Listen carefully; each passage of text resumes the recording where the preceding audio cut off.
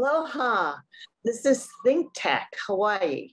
And uh, we have a show today um, on November the 18th, 2021. This is a weekly discussion show. It's uh, Politics for the People. And I'm your show host, Stephanie Stoll Dalton. We have um, a topic that is timely and uh, active this week and raising many, many questions. So, the political state of affairs featuring Republicans leading in the polls for the 22nd midterms. Uh, show us they're doing so by a lot. They have the largest lead uh, in they've ever had in over 40 years. So right now, about 51% of the voters uh, favor supporting Republicans. So let's discuss this state of affairs with our guest panel. And uh, we can um, talk about what it is that we have in hand right now, how we got here, and what uh, to do to suggest to Democrats how to change the trajectory of today's voter preferences for Republicans with what time is remaining in the run up to the 22 midterms. So, welcome, Jay Fidell and Tim Apicella and uh, Winston Welch for uh, guesting on the show today in this discussion.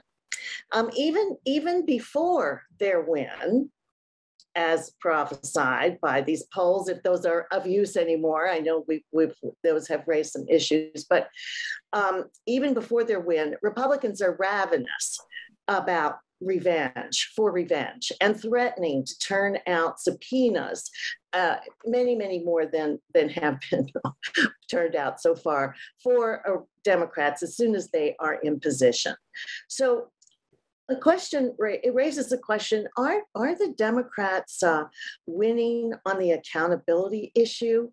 And that is a high value and important to our democracy. But the question is: Is there a recognition that there might be an unanticipated outcome uh, that contributes to the polarizing and the radicalizing of of our uh, of our people of our potential voters. So only a few years ago, Kevin McCarthy ousted Steve King from the House, while today Representative Gosar presents murderous depictions in media of his colleague, um, of slaying his colleague, saying he is a warrior for the past president. And that's what he is all about and his commitment. So, what does this tell us about the values that are in play now have they possibly changed? Uh, Jay, can you speak to that? What are these values that we as Americans have held and don't seem to be in play now? What is happening? I'm going to let uh, uh, Tim and Winston speak to that, but I, I, uh, I looked at your um, at your title here, and uh, I found that it was a very interesting title uh, for the show. It said GOP lead in polls through, by virtue of, I guess, normalized violence. And honestly, Stephanie, I, I just didn't understand the relationship uh, of those two parts of the title. Okay, uh, I, I, guess you want to talk about how the GOP is leading in the polls. That's good. Uh, but then through normalized violence, is violence a part of their ability to, I didn't understand that. So, so I went and looked up normalized violence. And that's what I want to comment on here at the top of the show. Normalized violence is a term of art. I don't know if you intended it to be a term of art, but it is a term of art. It's been studied. and I ran into a lot of articles about what normalized violence is. And I find that normalized violence is actually, according to these articles, articles written some, some time ago, uh, in the immediate term before Trump and now. Uh, normalized violence is what is happening in America. And there's a, a several things that I want to mention here, just for you know the top of the show, and I'll get off. Um, one is that is that if we have media uh, that is telling us about violence uh, as a matter of trying to get eyeballs all the time, you know, raw meat news stories, reporting on violence all day, whether that's Fox News or MSNBC, It's all the same. It makes people think violent. It normalizes violence and it leads to more violence in the community. And according to a number of articles I saw, um, the media is responsible for heightening the amount of violence in our community. Okay, that's one thing. And maybe the GOP likes that, maybe Trump likes that. The second thing, which is a very interesting article written in 2014 by uh, somebody at the Vera Institute of Justice in New York. I, I know about this organization, it's a very high class organization. And what they said was um, there were two aspects of the normalization of violence. One is um, that you know this thing about you uh, you you get in with a group uh, that extols violence, and you are the object, the victim of violence, and as a result, you're likely, you know, to do violence to others, and so we must make those people accountable um, so to limit the amount of violence. The second part is even more interesting is if you are a victim and you survive, and that means survive physically, like you don't die, or if you survive the PTSD aspect of being a victim of violence, then you are more likely. Survival makes you more likely to do violence the next time around. what I'm telling you is the literature seems to suggest, the psychological literature, the legal literature, seems to suggest we are now in a time where various factors are feeding into not necessarily the educated part of our society, but the lesser educated part of our society to make people more violent.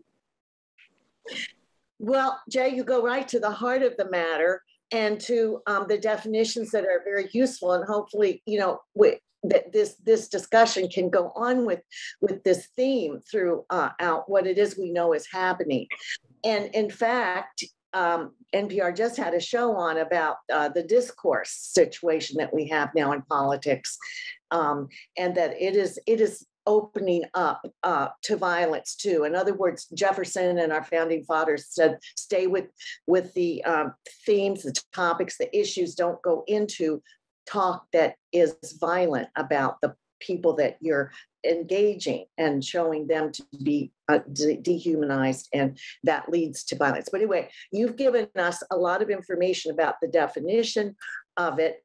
And my example of the bringing up the um, Gosar uh, media depiction is an example of of bringing violence into into play into discussion into discourse or showing it in through media where it can go much much further than ever before and that is normalizing that topic yeah, well very interesting that in the vera article i just mentioned there's a defense mechanism um, that people, you know, that, that people engage in when there is violence. It's called minimalization. And that's exactly what Gosar has done to defend himself, to minimize the violence. Um, and it's very dangerous to allow that. You cannot do that. You must make people accountable. So the House did the right thing, although not the not the mainstream GOP. Right. Well, um, let's let's go on here to Tim. Um, having had these these statements made and and Jay's research shared. So what what what is what is it meaning to you about what has happened with the Gosar thing and the and and the fact that well, this, this, yeah.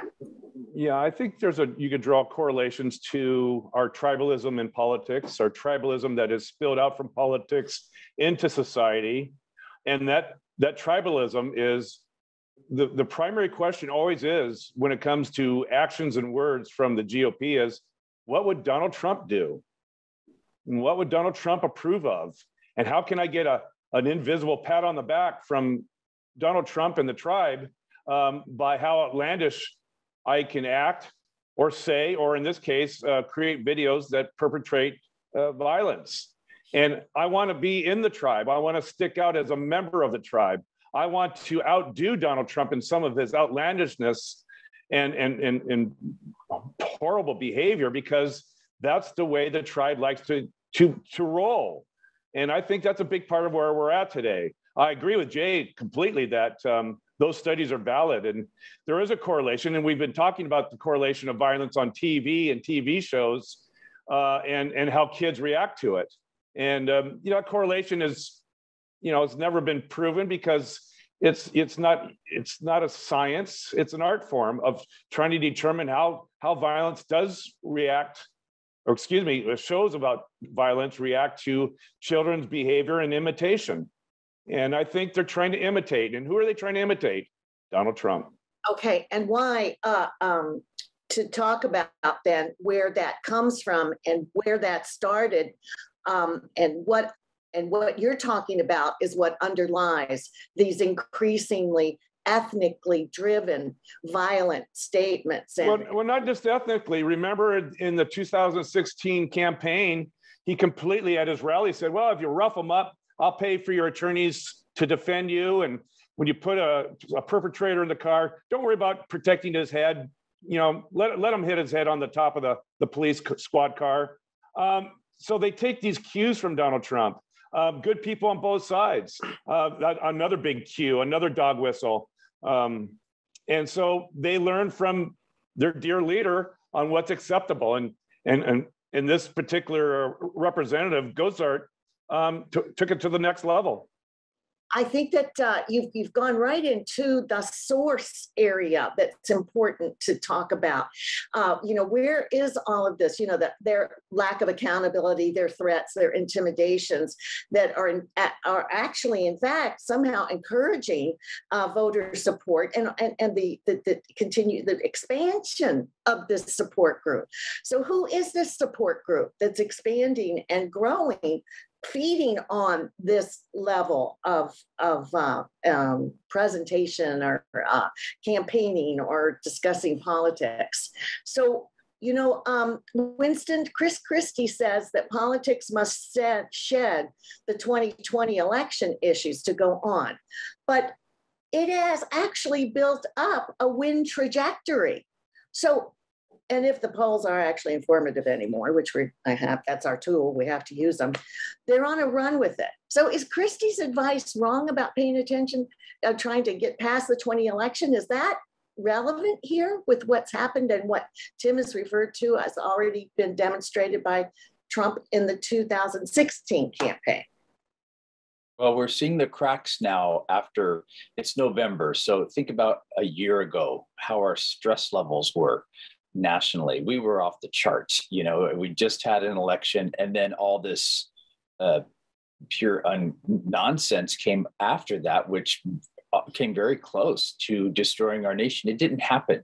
People pulled back. You had all of the former um, a defense was a defense no, they're not they're not ministers they're uh, department of defense chiefs coming together saying we don't use the military all types of people came out from society and government and everywhere else saying we don't do this. Nevertheless january 6th happened. Um, we're still trying to find out what is going on there and we will find out. I don't know that it'll make a difference. When you were opening the show and you were talking about what could the Democrats do, I think really it's the question as much is what can Americans do? And it's reaching out and reestablishing these fractured um, fake divisions that have been put between us when in fact we mostly want the same things. I'd also posit that it's the Republicans that need to have these really important internal um, discussions, discussions inside their family, all the way up to the, the national leadership. And Chris Christie was emblematic of that, as is Liz Cheney. And they're saying, you know what, we got to rein things in here. We are not a party of personality or of a cult. Uh, we're not based around one leader. We're based around a set of principles. And I think if they can get back to that, and I think uh, if they can, as we saw on the show yesterday, uh, you know, Cynthia saying she uh, she might even vote for a ticket with uh, Liz Cheney as president and uh, was it uh, uh, Adam Kinzinger or that who, who she said for vice president? In, in any event, those are the those are the important discussions that need to take place there because we need what we're really really looking at is strengthening the values of the Republican Party to get back to its old self and uh, its known self and its true self. Winston, I like uh, that you, you're saying that and referring to yesterday's talk. And I also like there when you use the fortification uh, word, because I think that that's something that we, we could talk about here today. How does the, how do the Democrats fortify themselves against this trajectory that, that's, you know, speeding along towards taking over the government? But um, what's really important is that also I challenge you on whether we are going after the same, want the same things at this time. Ultimately, and in the biggest picture, of course, I think you're right. But I wanted to ask Jay, if if you agree that we actually are wanting the same things these the, in, in these parties or are we in a place where it's very different? Because we are having different values drive the political discussion. So in in other words we have we have leaders um, and potential leaders who are enabling and enraging and reinforcing anger and then importantly, including people who have not traditionally been involved on and or been empowered by the political process. They've been ignored and dismissed as uneducated males, rednecks, gun nuts, militia, whoever else is in that that mix. And and and it looks like that may be a recipe for what the past president has successfully used to not only convince and encourage and develop his base, but grow it. So, are we actually operating for the same reasons? Are we going the same place, Jay? As, as a nation, as population of voters? I can't help but thinking of Lord of the Flies, where you go tribal, you go with a sort of primitive state of nature. I'm not saying that that movie and book, um, you know, were necessarily uh, scientific, um, but but they do, you know, suggest what is happening now, where you have a, a group of people who uh, who are into raw power and violence, um, who really have no uh, higher ideal to as- aspire to, who are un- unformed, unformed human beings in a state of nature. And that's really sad. Um, and, and I, I, certainly agree with Winston's uh, hope in this matter that the Republican Party can see itself clearly. But I want to point out that the Republican Party um, isn't the Republican Party that existed a few years ago. It's different. And the people who run it are different. And I think that the classical Republicans are not there. but certainly they're not in control. Uh, what we have now is more like Lord of the Flies. So I don't, I'm not optimistic about this. I'm not optimistic that uh, they can they can find a better motivation, uh, a better uh, ideology. Uh, I think they're just going to try to win at all costs. That was the discussion yesterday, Stephanie. They just want to win. It doesn't matter, you know what what does nothing else matters. Uh, so so I, I I guess I would say um, that if you look back at these studies over violence, one thing is clear is that you have to have accountability. You have to have accountability for the young pubescent who is watching violence on TV every day. If he wants to act out like that, you have to, you have to punish him. I'm sorry. Um, and the same thing applies to all of humanity. And that means that what's left of the federal government has to act. What's left of the Department of Justice has to act.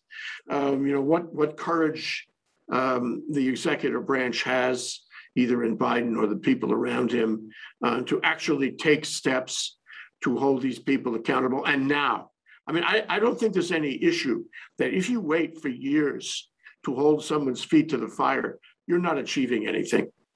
The only way to stop bad conduct is to is to take action right away.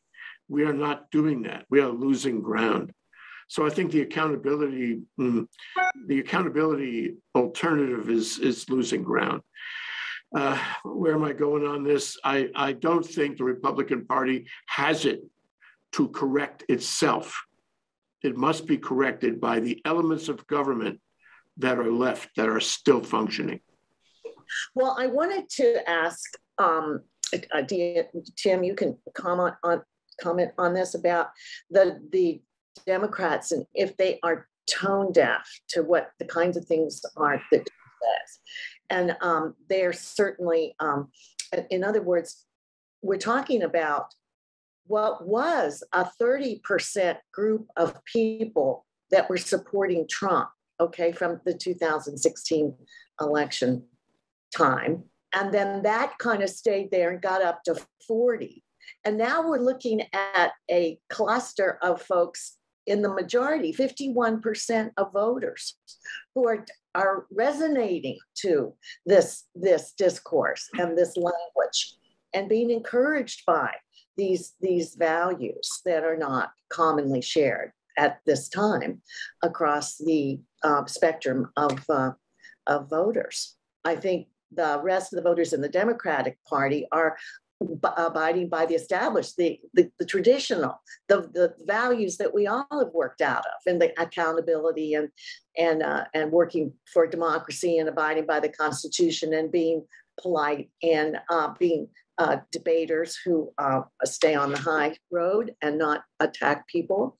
So, who are these people then, and how are the Democrats attending to them? Are they? Are they? Um, who are these people? Well, these are the people, as I said, my first answer are the ones that have drinking have drunken the Kool-Aid, the Donald Trump Kool-Aid. And they're taking their their words and actions to the next level of, of absurdity and and and depl- de- deplorability. And and they've they've they've taken over the party. I agree with Jay 100%. It's not the same party. Um, I'm a Democrat, yet I, I don't subscribe to a lot of the progressive Democrats' values and opinions.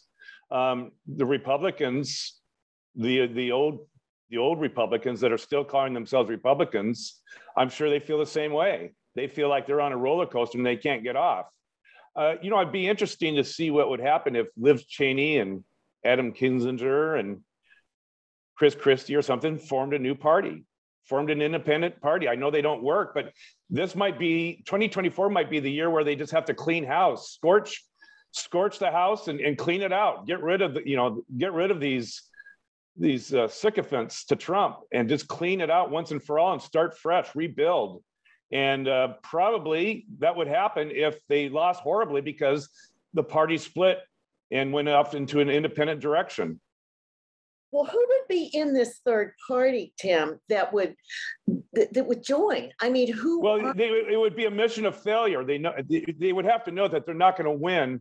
Their candidate probably would not win, but it would be a chance to get the party back to where it was, where you know you're you're guided by a sense of uh, a, a sense of principles and policies that are working for the people. Is something for, not against, and it's a party not of personality of Trump. It's a party of ideals and and the conservatism that they've they've followed that mantra for many many years, and they've lost that now. They've lost it.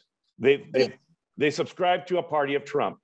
and you think that those those would migrate to this third party where they could be the I, I don't think it's going to happen. I said it would be very interesting to see it happen. It would be nice to see it happen. I, I want my old Republican Party back.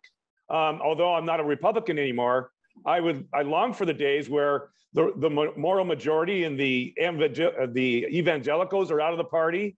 Uh, I, I miss the days where they were based on conservative um, fiscal principles and budget and um, conservative issues. I'm no longer a Republican. Well you know uh, winston uh, jay mentioned the lord of the flies and you know those those were children okay? So the end of the book is you know captain adult hoo hoo comes in and everybody lines up and salutes again on their coats and buttons um and um and and of course um in the republican party we have the examples of mccarthy who was completely um uh, aligned with the traditional values earlier and um, even McConnell, you know, all of these people were, uh, and they're adults. So we know that they have been in the place that they need to be as uh, Republicans. And uh, that now that they've wandered from that, why? This is the question where have they gone? Why have they gone? And is it indeed just a matter, Winston, of the win? That they think this is a win, and why would they think it's a win? This is not something that wins uh, in the long run. the, these these things come back and bite when you go for normalized violence and you encourage all of these very dark ways of operating. So what what do we what would you recommend that the Democrats start thinking about doing to fortify themselves to get themselves in trajectory to win? I'm, uh, I would go back to the Republicans again, and I like Tim's idea or uh, splitting this party into two pieces. It's probably not going to happen, but you know, we I just read an article uh, that that Mitch McConnell was uh, wanted Donald Trump disinvited to the inauguration, and that just came out a couple days ago because he was so concerned that he would have his supporters try and do something that day. Um, there's no love yeah and there's there's no love lost between these these people. And mitch mcconnell despite sort of allying himself with this he's still maybe so, somewhere deep in his soul if he's got one which we hope he does he's he is a principled conservative somewhere in there. And it's not just about raw power it's about advancing a conservative agenda. And if he can regain that and then uh, and he's not a come out and say something directly uh, to the troops. It's all behind the scenes. It seems to be to me. Um, he's he seems to be a sane individual, and maybe he can start shaping this. It, it's just a turn of the ship. Uh, honestly, this is a big ship. It moves uh, very slowly, but we're pulling away. We're not where we were a year ago. A year from now, things will be very different a year ago, how many Americans, uh, percentage of Americans were going to get a shot? Um, now, what are we at? I mean, even in, in, in, in, most states, it's, it's, it's just sort of become a, a, norm. So as we move farther and farther away from Donald Trump, and hopefully he doesn't regain any national spotlight more than he has, uh, we may gain a sense of, of reality. I mean, as an educator, you know of uh, how many um, uh, of the amazing amount of violence that children are exposed to visually on TV, uh, as all Americans are. Uh, we anytime you turn it on, the kids watch something, I don't know, 10 or 20,000 simulated murders by the time they're older. It's amazing there's not more violence in this country, especially considering we're armed to the teeth. Um, and in many states, you can carry a gun when you go to Walmart on your on your hip um, or Safeway. Let me let me add to that, Winston. It's not only the murders they see that uh, that that that, uh, that confuse them. It's the fact that these people get shot, uh, they get maimed, and they survive. Right. And, and it, at some level of analysis, these kids who watch this stuff think, "Well, I'm indestructible. That's you take right. me to a hospital. Modern medicine will cure me um, in a miraculous way." Which and isn't also, true. They they actually die. These people. They do, but we also have the, their video games, which are insanely violent. I, we're all of an age where we probably have never played one, but if you watch these, uh, they call a FPS or something like that, first person shooter games. I mean, these this is uh, these kids are they're they're, they've been target practicing since they could pull the trigger on the video game, um, but th- they're not out there doing it. Uh, is my point, and and and they could be. And and while this this uh, really egregious thing with uh, uh with Representative Gosar. Um, and and I, I, would encourage our, our gentle viewer to watch Alexandra uh, Ocasio Cortez's response to that. She says, Is this who we are? This is not about me. This is not about him. This is how we conduct ourselves as leaders and representatives in this government and as human beings. It's about basic human dignity. And I think if the Democrats want to press a message, it's that. It's let's go back to basic human decency, dignity, treating each other with respect, starting at the top. I'm disappointed with Kevin McCarthy. Disappointed, that's not a, a strong enough word. But basically, we're starting. This fellow got censured by the uh, by the House. It's the first time since Charles Rangel in, uh, in a long time, and, not many people have. So they're calling it out, but I don't think the masses are watching that. I don't think they care um, they're they're worried about gas prices, feeding the kids, and um, you know walking the dog. So, however, those statements from the top do matter. For anyone that does watch the news, they do matter. These little acts of calling people out and calling them up and saying this is not normal behavior. What we experienced over the last four year, previous four years, was abhorrent, and that is not who we are as a people. That's where we need. That's where the Democrats can do to come back a really important point and one of the points here i mean that we're moving in this direction, in this uh, d- despicable discourse, and have been warned against doing this by all history and anybody that's been co- a contributor to the development of the documents that support our democracy. That we're moving in a direction that is got a real bad ending because it does allow those thoughts into words go into action. And uh, that and we know what that leads to. So while we know then i think you made the point that at the at the big picture we all do want the same thing. But on the way to resetting for the big picture for today for modern times which has technology and media and everybody knows everything within five minutes of it's happening we're transiting and obviously something is di- it's different where a different set of, of values is guiding that transition. And 51% of the population of voters is looking to the republican presentation as admirable uh, you know supportable something they like and not what the democrats are doing. So my question again is and back to Jay, what do the Democrats do? What's the recommendation here for fortifying? I like that word you used yesterday for uh, strengthening the, the Democratic stance, the Democratic activity, and of course, having more uh, wins and products that people enjoy. What, what, what do they do? You keep asking that question, Stephanie. I asked And in it, many ways, it's unanswerable. Uh, maybe that's, you know, you're not going to get a good answer. I'm sorry, because there is no good answer. And who are the Democrats anyway? They're not necessarily organized. They're not unified.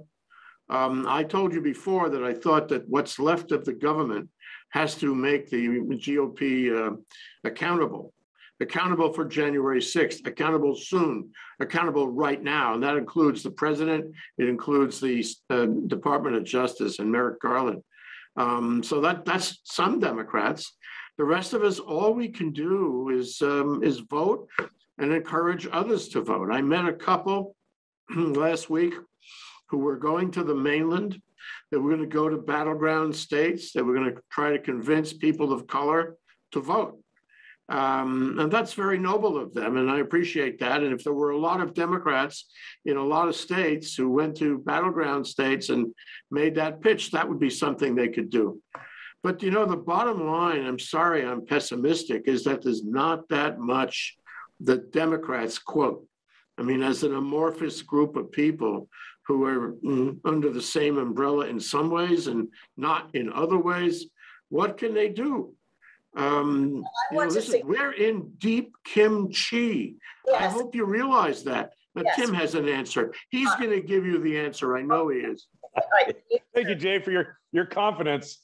Tim, Hey, you know, remember when Hillary Clinton said Donald Trump in his basket of deplorables? I was just gonna exactly say Yeah. that. And, and remember, she backed down. All Yeah. she had to do is double down and list all the deplorable things he said and did up to that campaign run and Yeah. say, yeah, and if you're following Donald Trump, I meant what I said. I said what I meant. You're a deplorable too. See, that's what something Democrats can't do. They can't stand behind their words. They can't stand, uh, they falter, they get weak in the knees and they can't stand behind that which they should have stood behind and been resolute about and and they just fold and if she would have just never folded and doubled down on it you know what? She might have won the election because she took it in the polls soon after she apologized for that comment. Um, i think she was spot on and she's been proven right. Donald trump and his followers are a basket of deplorables You're absolutely right. And I didn't list them among those who've been. But That's just name calling. dismissed. Um, you know, No, if you ask no. Winston, Winston is going to tell you that throwing hate back and forth no no doesn't no no solve the problem. That's not name calling because what you do is, in the case of Go Gosar, y- you do what they're doing. They're calling out the action and they're putting the leadership on the line saying, you're responsible for this, not just Representative Gosar. You have a role in this, Kevin McCarthy. You have a role in this, RNC. You guys are responsible for this behavior and you're doing nothing. Well, my, my point is that just throwing rhetoric, rhetoric back and forth doesn't do it.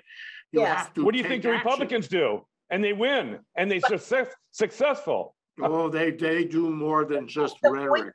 folks that it's already done. The deplorables are now fifty-one percent, if we want to use that. I, I characterize them as the, you know, gun, the militia, the uneducated males. that- So what I'm saying is, how do we address these people actually have not been, um, they haven't been empowered. Winston, she must be asking you the question. It's Well, the no, I'm- same question. We're gonna have everybody comment, but the, but this group needs, guess what? Education. So this, this group is now at fifty-one percent. They like what they see that's coming out under the, the, the guise of, uh, you know, trying to win. So, um, and, and, but they don't have enough uh, guidance and model from the, the Democrats, maybe. What can the Democrats group about? Getting this group up to speed so that they can act like big girls and boys, adults, and become responsible and um, voters. Is that, okay, I'm gonna, I know we, it's time to wrap up and we're, we're gonna be, we're always cut short. I'm gonna, I'm gonna, I'm gonna leave you with, yes, Jay is right. Tim is right. You're right. Uh, and it's all depending on uh, how optimistic or pessimistic we're feeling at the moment. But right now, I'm feeling like when you talk about education, what can we do? It's not Democrats or Republicans, it's all of us. And I take a little bit of hope a little bit of hope, Jay, in the governor's race of Virginia. That Oh, fellow threaded the needle. He did not mention Donald Trump, and he basically, I don't even think he mentioned Joe Biden. He just said, "I'm I'm running on these positions." And guess what? Those swing voters who did not vote for Donald Trump voted for him, and they were soccer moms. I don't know who they were. Uh, people that wanted a sane conservative party that speaks to their fears that speaks to them being taken over and everyone's going to be a communist making you know lesbian clothes in the re-education camps melting down their guns. Uh, you know whatever fears that have been provoked there that's that fellow won. The other thing is don't underestimate the power of bringing the casserole to the neighbor having those discussions or having the harder discussions with your family members who you know with your friends who you become estranged with and say, you know what, this was a mess.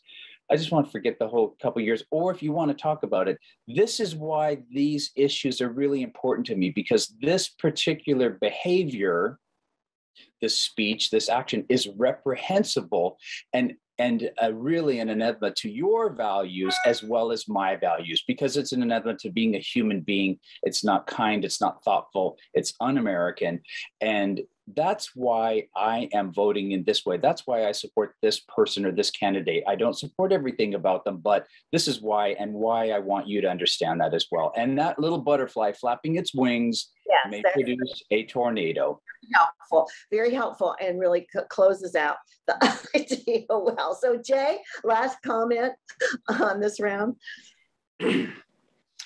Um, I think, you know, Think Tech in this program, we try to connect the dots. And every time we connect the dots, uh, we find, mm, we find something hopeful.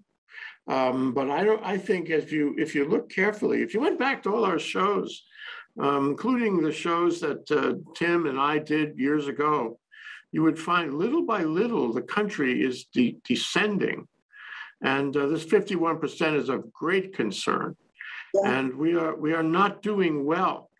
Um, and I, and I do not have um, any significant level of optimism that the mm, mm, admirable suggestions that Winston makes will be realized. Uh, I rather think that we're, we're going down, man. And uh, I don't know what the future is like, but it's not pretty.